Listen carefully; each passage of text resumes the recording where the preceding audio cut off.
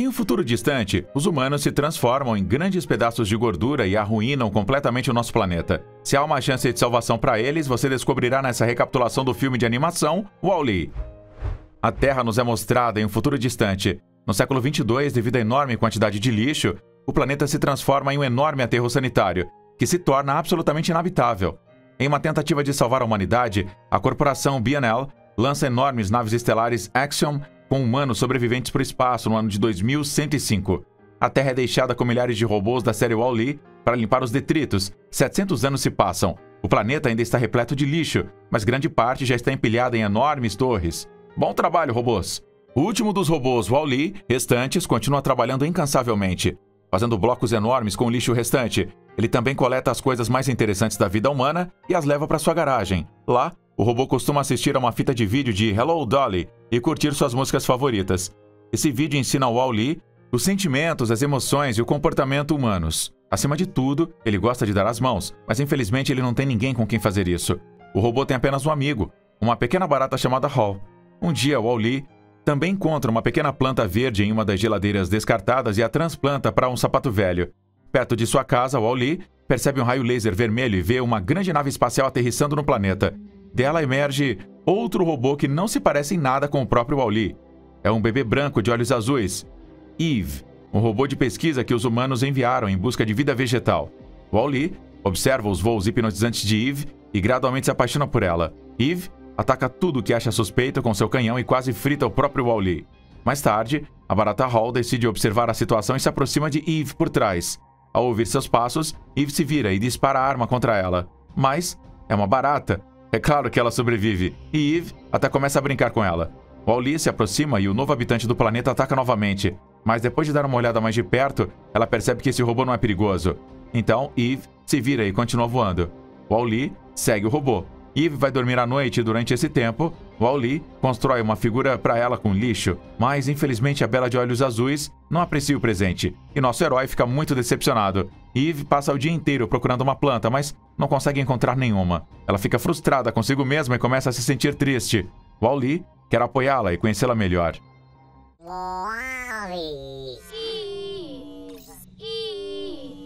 Mas então começa uma tempestade de areia. O robô leva sua amiga para a garagem e mostra a ela todos os seus troféus, bem como seu filme favorito. Para se exibir, Wally mostra a Eve uma planta que encontrou recentemente. Ela a examina e percebe que é exatamente o que está procurando. Eve imediatamente coloca a planta em um recipiente especial dentro de si mesma e entra em modo de espera. Wally tenta acordar Eve, depois a leva para o telhado e cuida dela, tentando proteger a bela adormecida das intempéries e mantê-la em boas condições. Ele passa o tempo todo com ela, a levando para passear, assistindo ao pôr do sol com ela e tentando constantemente segurar sua mão. Mas também há trabalho a ser feito e finalmente Wally volta a recolher o lixo.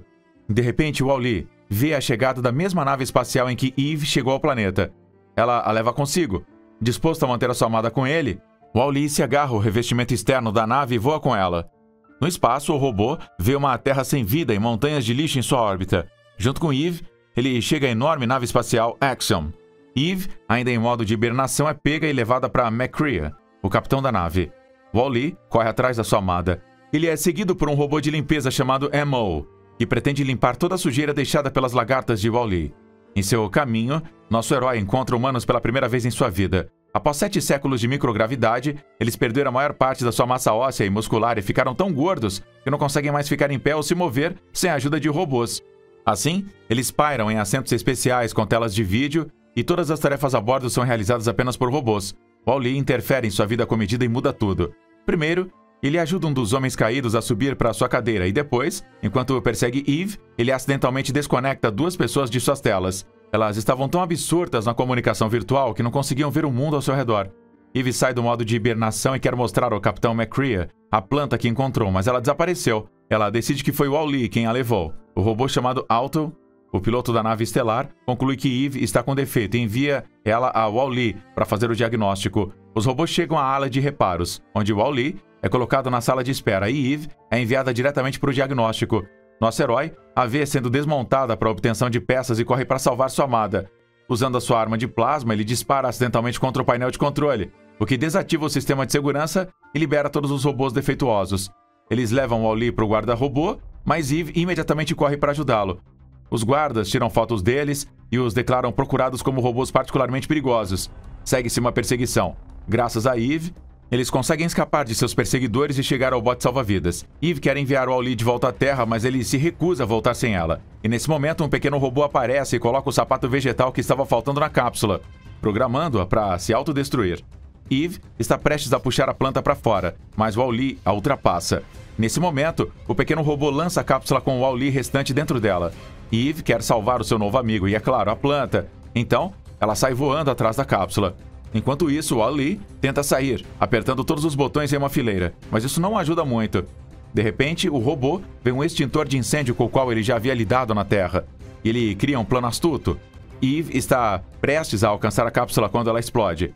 Assustada, ela corre, mas nesse momento, Wally passa voando por ela em um extintor de incêndio, como se estivesse em um motor a jato. Eve está feliz por ver seu amigo vivo inteiro, e fica ainda mais feliz quando ele lhe mostra a planta. Ela abraça o Wally, gira com ele e lhe dá um beijo elétrico. Depois vão juntos pela espaçonave e voltam a bordo.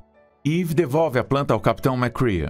O capitão está ansioso para ver a Terra pelos olhos de Eve e pede para ver a sua gravação do planeta. Eles veem como Wally cuidou dela depois que ela se desligou. O capitão ficou horrorizado com as montanhas de lixo na Terra e decide que os humanos devem voltar e consertar o que fizeram.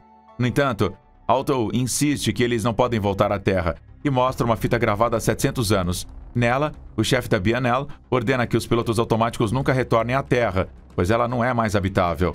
O capitão se recusa a obedecer a Alto e, em resposta, o robô tira a planta dele e a joga em um poço de lixo. Mas Wally a resgata e a esconde dentro do seu corpo. Alto o eletrocuta, queimando seus microcircuitos, e o nosso herói cai no poço de lixo. Em seguida, os robôs desativam Eve e a jogam no mesmo lugar. Depois, prendem o capitão em seus aposentos. No compartimento de lixo, a Eve é acidentalmente reinicializada pelos robôs em forma de rato antes de ser jogada no espaço sideral junto com Wally. Naquele momento, o mesmo robô de limpeza é enviado para encontrar o contaminante estranho, que na verdade é o nosso herói. Enquanto isso, Eve se liberta da pilha de detritos e puxa Wally para fora. E depois, o robô de limpeza fica preso na porta, ajudando-os a escapar. A Eve tenta consertar o Wally, mas não consegue encontrar peças certas para consertá-lo. Wally indica a Eve uma planta e fala sobre a Terra, informando-a de que é lá que ela pode encontrar as peças certas.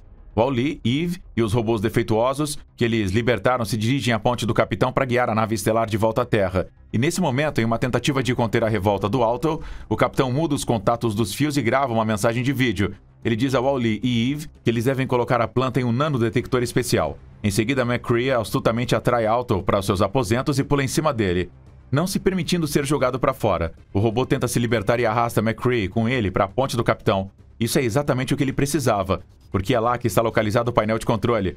McCree e Alto começam a lutar, durante a qual eles quebram um dos pequenos robôs nojentos, tentando matar a planta, e o capitão ativa o nanodetector. Mas o insidioso Alto decide inclinar a nave, joga o capitão para fora e assume os controles da nave espacial. Os humanos começam a se arrastar impotentes para fora de seus assentos e rolam em uma grande pilha, enquanto os salva dos sofás de ferro que caem. Alto começa a fechar o nanodetector. Então Wall-Lee entra em seu caminho, impedindo que a escotilha se feche completamente. Alto usa uma arma de choque e danifica os componentes eletrônicos, desativando o mecanismo de controle da escotilha. O nanodetector então quase se fecha, esmagando Wall-Lee. Enquanto Alto faz isso, o capitão se levanta, para espanto dos passageiros, e muda os controles da nave para o modo manual. Ao fazer isso, ele desativa o alto e restaura a ordem a bordo da nave. Eve coloca a planta no nanodetector. Ele aciona o código automático e a nave espacial faz um salto no hiperespaço para a Terra. Wall-E, muito danificado, é desligado. Quando a nave aterrissa na Terra, Eve vai até a garagem para consertar o Wall-E, mas o dano é tão grave que após os reparos, Wall-E não se lembra nem de Eve, nem de tudo o que aconteceu com ele durante toda a sua existência. O que acontece é que o robô que salvou as pessoas se tornou uma máquina sem alma capaz apenas de coletar lixo e prensá-lo em cubos. Que injustiça! Eve tenta restaurar a memória de Wally. Ela pega a mão dele e o beija. O choque elétrico restaura a memória de Wally. Ele se lembra de Eve e segura sua mão com força. É exatamente como em seu filme favorito. Vemos colinas cobertas de plantas verdes e percebemos que as pessoas começaram a reconstruir o planeta. Portanto, a Terra ainda é habitável. Se você gostou da nossa recapitulação, seja bem-vindo aqui ao nosso canal, onde você encontrará mais vídeos interessantes. Você está assistindo ao Movie Cat, não faça desperdício. Tchau!